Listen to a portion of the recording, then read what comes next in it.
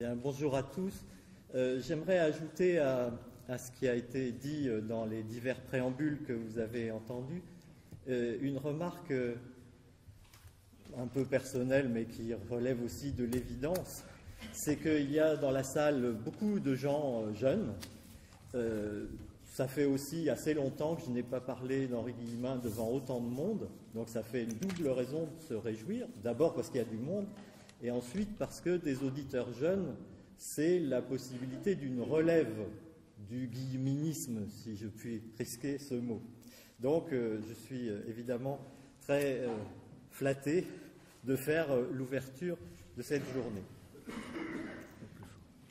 Alors, j'ai demandé à, pour me permettre de parler le premier, pas du tout pour être débarrassé de ma part de travail, mais parce que je pensais pouvoir euh, euh, proposer une sorte d'introduction qui soit à la fois sur Guillemin et sur euh, ce, livre sur Robespierre. Alors là, ce n'est pas, pas, la réédition Utovie, c'est l'édition du Seuil d'origine. pour que la journée ensuite, même si certaines communications sont plus sur la Révolution et Robespierre que sur Guillemin, euh, puisse être cadré en quelque sorte.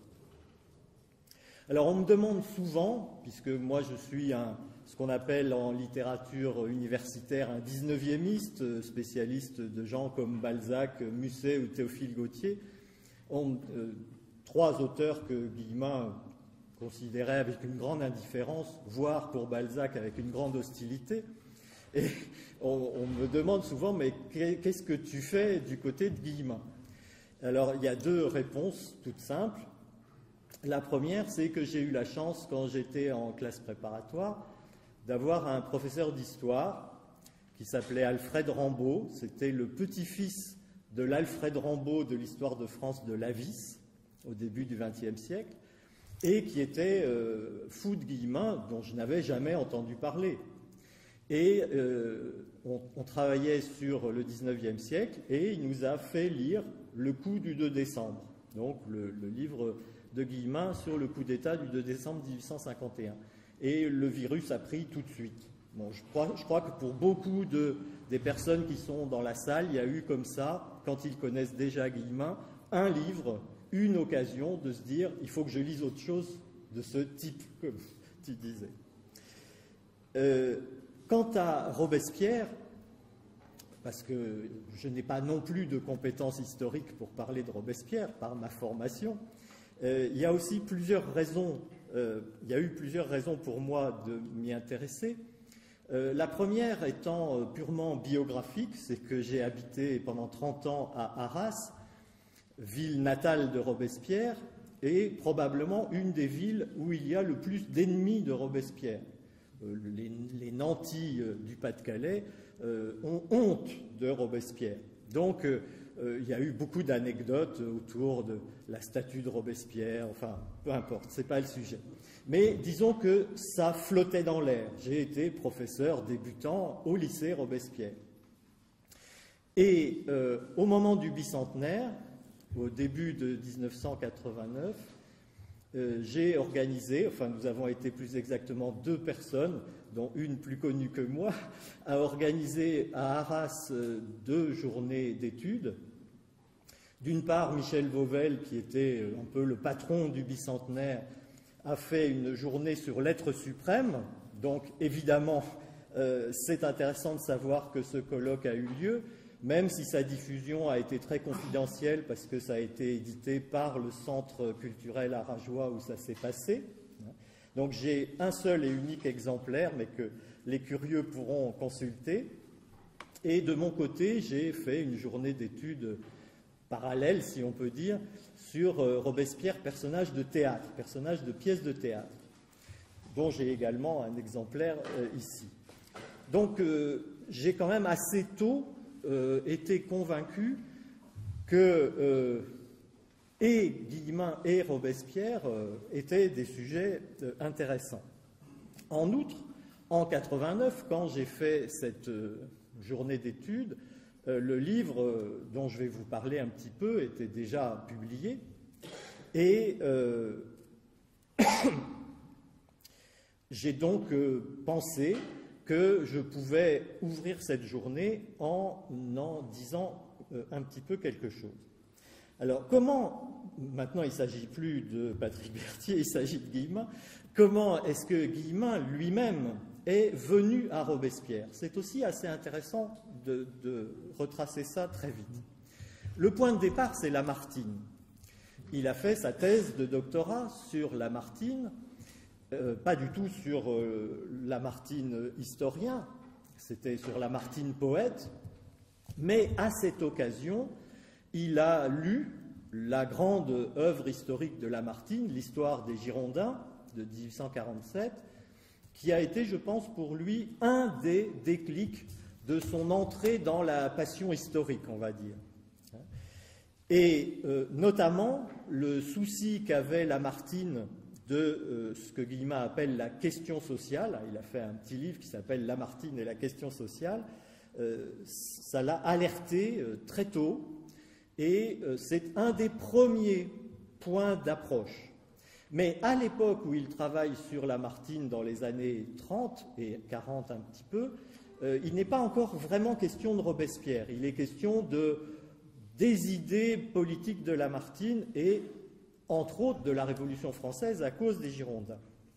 Il y a une autre origine qui est plus ancienne, c'est que dès 1937, c'est-à-dire euh, juste au lendemain de sa thèse de doctorat sur Lamartine, euh, Guillemin tombe, si je puis dire, dans Jean-Jacques Rousseau. Il se passionne pour Rousseau et il se passionne notamment, presque tout de suite, pour Rousseau tel qu'il le perçoit, c'est-à-dire un chrétien persécuté par les philosophes. Je fais évidemment une formule un petit peu raccourcie, mais c'est quand même comme ça qu'il le percevait.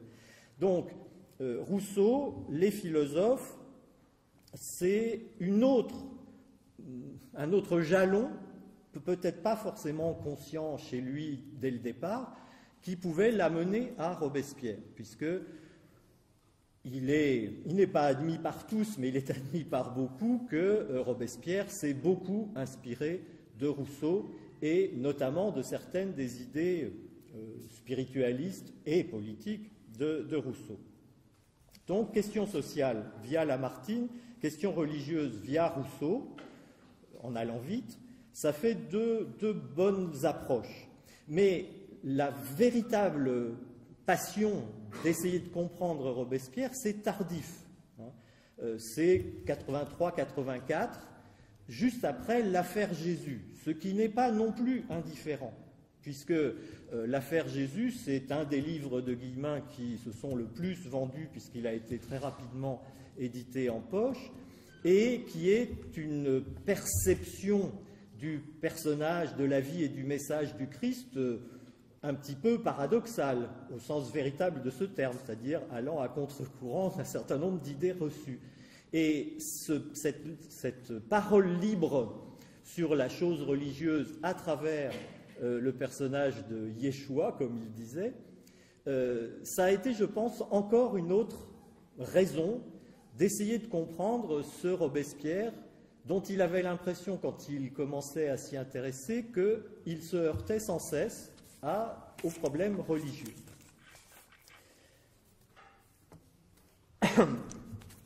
Alors, pour euh, donner une idée et de ce qu'il y a dans ce livre, et puis après de la façon dont il s'est élaboré, je procède d'une façon extrêmement simple. D'abord, quelques citations très courtes, prises volontairement à des endroits très différents du livre, hein, de ce Robespierre politique et mystique, euh, pour montrer que, alors que Guillemin fait un livre sur la carrière politique de Robespierre de 89 à 94, son objectif profond, derrière l'objectif historique, c'est autre chose. Donc, page 8, c'est l'aventure de Robespierre dans sa dimension religieuse que je voudrais étudier ici, la politique de Robespierre comme traduction concrète d'une mystique. Donc page 8 dès l'introduction. Page 72, il annonce le chapitre consacré à la pensée, entre guillemets, philosophique de Robespierre, raison d'être du présent ouvrage. Encore plus loin, 148, l'histoire que je raconte est celle d'un homme qui va dans un certain sens. Si je vous lisais toute la page, vous comprendriez tout de suite que ce certain sens, c'est ce qu'on appelle quand on est un peu pédant, une téléologie, un but lointain, quelque chose qui va au-delà du matériel et du terrestre. Encore plus loin, 171, la réalité divine, objet chez lui d'une foi ardente dont nous apporterons les preuves. Formulation très imprudente, mais typique de l'auteur. 279 annonce de nouveau le chapitre en vue duquel tout le présent ouvrage est construit. Alors pourquoi ces annonces sans cesse d'un chapitre qui n'est pas encore là? C'est que si vous regardez la table des matières de ce livre, elle est un petit peu déroutante. C'est un gros livre qui fait 400 pages grand format. Euh, vous avez un premier chapitre très court qui est euh, une sorte de portrait problématique intitulé Maximilien, ça fait 20 pages. C'est une série de traits biographiques et de traits de caractère de, Robespierre destinés à, d'entrée, montrer que ça n'est pas un personnage univoque. C'est un personnage compliqué à comprendre, contradictoire et euh, qui va donner du fil à retordre. Ensuite, vous avez trois chapitres qui, à eux trois, font 300 pages, donc les trois quarts du livre, sur la carrière politique de Robespierre de l'ouverture des États généraux jusqu'à sa mort en juillet 1994. Et puis il y a un petit chapitre 5 de 40 pages, Robespierre et l'être suprême, et c'est ça qui est le sujet du livre en fait, dans son esprit. Et il y a une sorte de conclusion euh, d'une vingtaine de pages intitulée de façon très intéressante Incohérence Point d'interrogation. Pas incohérence au pluriel, mais incohérence au singulier. C'est-à-dire, est-ce que Robespierre est un être incohérent? Est-ce que ça a un sens de dire qu'il était à la fois un croyant profond et qu'il a envoyé tous les gens qu'il a pu envoyer à la guillotine? Alors, ce que je voudrais faire pour donner une, idée évidemment très incomplète, hein, ce que je vais vous lire, ça représente 5% euh, du propos de Guillemin dans le corpus que je vais utiliser. Euh, c'est de l'inédit. Ce sont les lettres que Guillemin a échangées avec euh, une, une amie, Catherine Lieutenant, qui est toujours de ce monde, mais qui est âgée et qui n'est pas avec nous, mais que je salue de loin, et avec laquelle il a euh, établi à propos de la genèse de ce Robespierre une correspondance passionnée et parfois extrêmement violente dans le désaccord euh, qui euh, permet de se rendre un petit, un petit peu mieux compte de ce qu'il voulait faire. Parce que j'ai aussi la chance de l'avoir longtemps connu et j'ai beaucoup de lettres de lui, mais euh, comme il n'y avait pas de désaccord idéologique entre nous, il me disait juste ça avance pas, ça m'ennuie, je finirai jamais, je serai mort avant. Mais il n'y a pas de contenu idéologique sur euh, ce Robespierre. Tandis qu'avec Catherine Lieutenant, c'est très violent, extrêmement violent. Alors, j'ai pris le parti, même si ça entraîne une ou deux petites répétitions, de suivre le fil chronologique parce qu'il a travaillé euh, en presque trois ans sur le livre, de 84 à 87, et euh, on voit que d'entrée, il y a quelques pilotis solides qui sont des pilotis à problème, mais au fond dont il ne va jamais dévier, qui sont la question sociale, la question religieuse, la cohérence du personnage. Donc, je commence en mai 84. Ce que je prépare sur Rob, il écrit toujours Rob R-O-B, ou même MR, Maximilien Robespierre, mais MR en, abrégé, en initial. Ce que je prépare sur Robespierre, mais vivrai-je encore en 86 et je ne serai pas prêt avant, risque de vous déplaire. J'entends m'attacher à sa pensée religieuse qui, selon moi, était profonde et même capitale tant pour sa vie intérieure que pour son action politique. À ce moment-là, mai 84, on est à un an du début de la rédaction, pas tout à fait un an. Donc il est vraiment au stade de la prise de notes, de la rumination, et c'est déjà ça son idée. Alors pourquoi risque de vous déplaire? Il faut tout de suite expliquer que c'est de là que vient le sel de cette correspondance. C'est qu'il a euh, face à lui euh, quelqu'un qui l'a connu dans ses conférences en Belgique, qui est tout à fait passionné de son œuvre, mais qui est aussi athée et anti-religieuse qu'il peut être lui-même croyant. Donc les étincelles sont extrêmement violentes d'entrer sur euh, ce terrain. Et un petit peu plus tard, on, voit dans une lettre euh, l'appellation affectueuse Cathy la Jacobine. Donc ça sera toujours le grand terrain de mésentente. Deuxième citation, nous sommes toujours en 84, en décembre, donc toujours avant le début de la rédaction du livre. Et il explique qu'il est évidemment pour Robespierre, et en général il souligne pour euh, deux fois, il l'écrit en italique, il l'entoure, enfin toutes ces manières d'écrire qui étaient les siennes. Et puis il met une parenthèse. Alors quand on lit des lettres de Guillemin, il faut toujours faire attention aux parenthèses, c'est là qu'il dit l'essentiel. Le plus embêtant, et ça gravement, c'est ce qu'il a laissé faire, souligné, dans l'usage de la guillotine, dès la fin de 93. Mais ça prouve peut-être simplement qu'il était beaucoup entouré, beaucoup moins le maître qu'on ne l'imagine couramment. Sale histoire tout de même, notre Robespierre terroriste. Donc, deuxième thème dominant, qu'est-ce que je vais faire de cet homme qui me fascine et qu'à beaucoup d'égards j'admire, notamment dans sa position sociale, mais qui a été, comme on dit un certain nombre de grands historiens, un assassin. Il ne reprend pas le terme tel quel à, son, usage, mais. Alors, nous arrivons maintenant à l'année 85, qui est l'année de la rédaction euh, du premier jet du livre, et c'est aussi celle où la correspondance avec euh, Catherine Lieutenant est la plus abondante sur la fabrication douloureuse et compliquée du livre. Et euh, il y a d'une part le reportage vivant de j'en suis à telle date, j'en suis à telle difficulté, et puis il y a régulièrement des prises de position, des, expressions d'intention, hein, dont je vais vous lire quelques-unes. Donc 13 mai 85, voudrais, je voudrais, sans, le, sans le jeu, voudrais de toutes mes forces faire un livre utile en comprenant et exposant la pensée religieuse de Robespierre qui allait loin et n'avait rien à voir avec le détestable paulinisme autre mot capital, puisque Saint Paul est probablement une des deux ou trois personnes de l'univers euh, de la naissance du christianisme que Guillemin déteste le plus.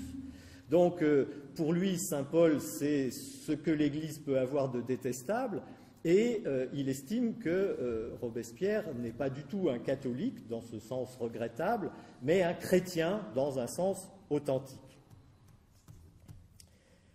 Alors, autre chose d'intéressant, et là, euh, on peut évidemment réfléchir à ce que ça aurait pu être et donner comme résultat. Nous sommes au mois de juin 85, il approche de, de la fin du premier jet. Chaque jour, ma page sur Robespierre. Suis arrivé à fin mai 94.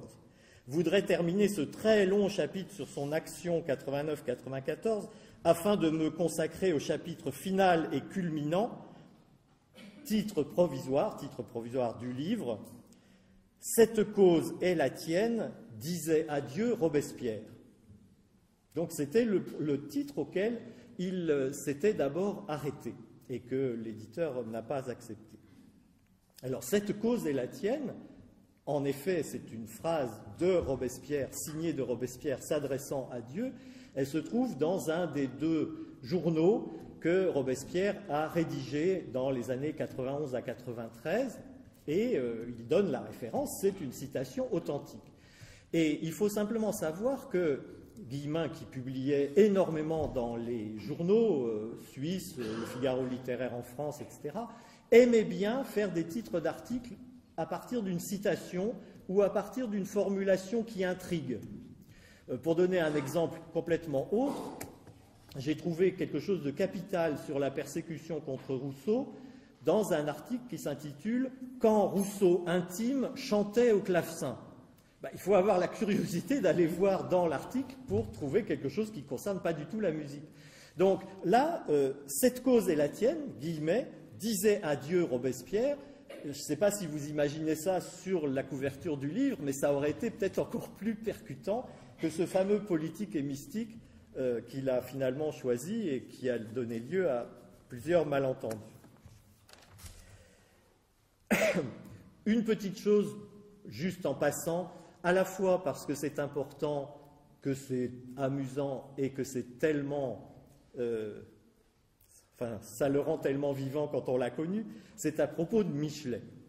Michelet a écrit, euh, comme vous savez, une grande histoire de France et notamment une histoire de la Révolution française qui est euh, disponible en deux Pléiades et que Guillemin a beaucoup utilisé comme repoussoir. C'est-à-dire que quand il, quand il, trouve que Michelet dit vraiment quelque chose d'un peu énorme, on a des petites notes écumantes dans le bas de la page. Euh, Michelet trouve moyen de dire que, etc. Et alors là, il y a un petit paragraphe qui est assez, assez cocasse et tellement représentatif. C'est septembre 85. La relecture de Michelet est distrayante. Oui, DAC, DAC euh, en abrégé, un élan républicain qui fait plaisir. Mais quel amoncellement de sottises, quelle passion du mélodrame, le constant souci des scènes à faire et un goût fastidieux des larmes, finalement très antipathique le type. Voilà, ça c'est Guillemin aussi. Alors, dans euh, ce qui suit, je vais euh, économiser des citations parce que je veux garder un petit peu euh, une minute pour deux ou trois pour, euh, pour, euh, finir avant de conclure, mais plutôt de donner la parole aux, autres. J'ai pris beaucoup de notes dans cette correspondance qu'on m'a fait la confiance de, me donner, mais elle, au bout d'un temps, elle se répète beaucoup. Enfin, je veux dire, Guillemin se répète beaucoup parce que son interlocutrice ne cède pas un pouce de terrain et qu'il n'arrête pas d'essayer de la convaincre que si, si, si, la pensée religieuse de Robespierre, euh, c'est absolument capital. Cependant, à côté de ce, leitmotiv, Robespierre croyait et euh, il faut croire qu'il croyait, sinon on ne comprend pas, il y a aussi le retour du thème qu'on a vu tout à l'heure euh, apparaître, qui est euh, comment avoir une vue cohérente d'un euh, Robespierre qui, serait à la fois cet homme de foi et un homme de violence, disons. Alors voici euh, un, un, exemple. Et je ne sais toujours pas, donc décembre 85, non seulement il a fini le premier jet, mais il est déjà en train de remanier son livre pour aboutir au manuscrit définitif. Et je ne sais toujours pas ce que je pense finalement de MR, qui me passionne et me déconcerte. Des actes et paroles de lui m'enthousiasment. Actes et paroles, c'est emprunté à Victor Hugo, c'est une expression de Victor Hugo. Des actes et paroles de lui m'enthousiasment. D'autres me navrent, souligné deux fois. Et je suis tout de même effaré par l'usage qu'il a fait de la terreur, défendant souligné deux fois, aux Jacobins, le TR, le tribunal révolutionnaire, en juillet 94, souligné deux fois, quand il n'était plus défendable. Donc là, on a vraiment une grande insistance. Pourquoi cette insistance? C'est qu'à ce moment-là, la polémique entre les deux correspondants a un petit peu évolué. C'est le dernier point que je voudrais évoquer. Euh, je ne sais pas si Henri Guillemin a renoncé à convertir son interlocutrice. Je pense qu'il voyait bien qu'il n'y arriverait pas. En revanche, il voulait la faire céder sur son adoration pour Robespierre. Euh, elle trouvait que Robespierre était parfait en tout, et à chaque fois que Guillemin lui écrit des choses comme euh, Il me navre quand il fait telle chose, on devine qu'elle montait au créneau. Et alors il lui écrit quelque chose que je trouve Très bien.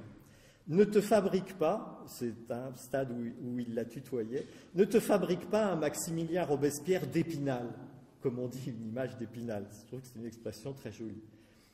MR, que j'aime, que j'admire, que je défendrai, qui est ce que notre Révolution française eut de plus propre et de plus noble, surtout comparé à un vendu comme Mirabeau, à un immonde comme Danton, avec Couton et Saint-Just et ce Lebas qui m'a pris le cœur à cause du 8 Thermidor, et il reprend la phrase, MR n'est pas un petit saint. Je ne connais pas de petit saint chez les gens que j'aime. Zola, Hugo, Tolstoï, Jaurès lui-même, chacun a ses défauts. Et il l'accuse, elle, de ne pas vouloir accepter que euh, Robespierre soit un être imparfait. Pour toi, Rob est infaillible, disons plutôt intouchable et parfait en tout. Ça n'existe pas des gaillards pareils. Chacun, et même les meilleurs, a ses fautes, erreurs ou ses trébuchements. Et tu sais bien que si j'ai choisi de consacrer un ouvrage à Rob, c'est entouré en rouge parce que je suis avec lui en majuscule et passionnément. Ne te conduis pas comme une fanatique. Ce que je trouve extraordinaire, c'est que c'est lui qui dit à l'autre ne te conduis pas comme une fanatique. Et un peu plus loin dans la même lettre, nous ne pouvons que desservir la mémoire de Robespierre en dissimulant ce qu'il eut comme chacun de nous d'imparfait et de fâcheux. Je sens avec une espèce d'effroi que tu ne me pardonnes pas de dire ce qu'il ne faut pas dire et que tu tiens ipso facto pour une erreur de ma part. Et là, on retrouve quelque chose qui a une tournure évidemment plus personnelle ici, mais qui est très important dans l'œuvre de Guillemin, c'est cette idée qu'il dit ce qu'il ne faut pas dire, ce qu'il est convenable de ne pas dire. Et Dieu sait qu'il a euh, fait tous ses efforts pour, euh, pour, euh, pour aller contre les idées reçues. Alors, je, vais laisser encore quelque chose que j'aurais voulu dire, parce que je garde une dernière petite chose avant de, avant de conclure. Ce qui me ravit chez R, là c'est même plus MR ni Rob, c'est R, simplement la lettre R, je vais te le dire, c'est deux choses. Petit a, une réaction viscérale en faveur des humiliés, écrasés, exploités. Il est avec eux, violemment, totalement, même quand ils ont tort, parce qu'on leur en a trop fait voir. Petit b, ce type a horreur, horreur les deux horreurs sont soulignées deux fois, des Helvétius et autres d'Alembert et de l'encyclopédie et des athées. Il pense à Dieu sans cesse, souligné deux fois. N'oublie pas qu'il est le disciple passionné de Jean-Jacques Rousseau. Il est à fond avec le vicaire savoyard. On ne pige rien à Robespierre si on n'a pas compris ça, qui est à la source même de sa pensée, et puis il met au-dessus son action, sans rayer sa pensée. Quand il crie à Dieu Cette cause est la tienne, ça lui sort du plus profond des tripes. Rob est un croyant pas pour rire, avec des traits d'union. Voilà. Et inutile de dire qu'il n'a pas du tout réussi à la convaincre. Alors, je voudrais faire euh, deux, petits mots pour terminer. Euh, je ne vous ai donné ici qu'un aperçu absolument minuscule d'une correspondance qu'on pourrait appeler acharnée. Parce qu'il s'acharnait à la fois sur Robespierre pour essayer de le comprendre et euh, contre cette Catherine qu'il aimait beaucoup pour essayer de la convaincre. Et il n'y est visiblement pas du tout arrivé. J'ai échangé tout récemment quelques mails euh, avec euh, cette dame que je ne connais pas en vrai, que je n'ai rencontré que de cette manière, et elle a visiblement toujours les mêmes positions. Alors, moi, ce que je voudrais retenir, c'est, quelque chose d'autre. C'est que dans l'œuvre de Guillemin, euh, il y a un certain nombre de personnages dont il a parlé qui sont considérés comme de grands personnages et dont il a entrepris de démontrer que c'était de petits personnages. Euh, disons Vigny, disons Georges Sand, disons, Benjamin Constant, euh, évidemment Napoléon, qui est une de ces bêtes noires. Et puis il y a des gens euh, considérés euh, chez les gens de bien, comme il dit, et il écrit souvent bien avec un S pour qu'on comprenne bien ce qu'il veut dire, donc des gens considérés chez les gens de bien comme dangereux parce que de gauche, ou d'autres défauts apparentés, euh, et dont il démontre au contraire que ce sont de grands personnages. Zola, Vallès, Jaurès. Et Robespierre, ce qui m'intéresse, c'est qu'il n'est d'aucun des deux côtés. Euh, je crois qu'il n'a pas réussi à se faire une idée tranchée, et heureusement, je dirais, euh, d'un personnage qui est probablement énigmatique par nature. Là, c'est un petit mot d'une lettre à, moi qu'il m'écrivait euh, au moment où il commençait à rédiger. Travail ininterrompu et qui sera interminable sur le Maximilien Robe, assez drôle de corps, impossible à chérir vraiment comme à détester vraiment. Et au fond, il est un peu resté sur cette position euh, sur, la lame de couteau, euh, fasciné à bien des égards, horrifié à quelques autres, mais convaincu qu'en tout cas, si on voulait comprendre quelque chose à Robespierre, il fallait considérer l'être suprême comme une conviction chez lui et pas comme une manœuvre. Et c'est un des gros points de désaccord sur lesquels on peut parler de l'action ou de la pensée religieuse de Robespierre. Voilà ce que je voulais dire.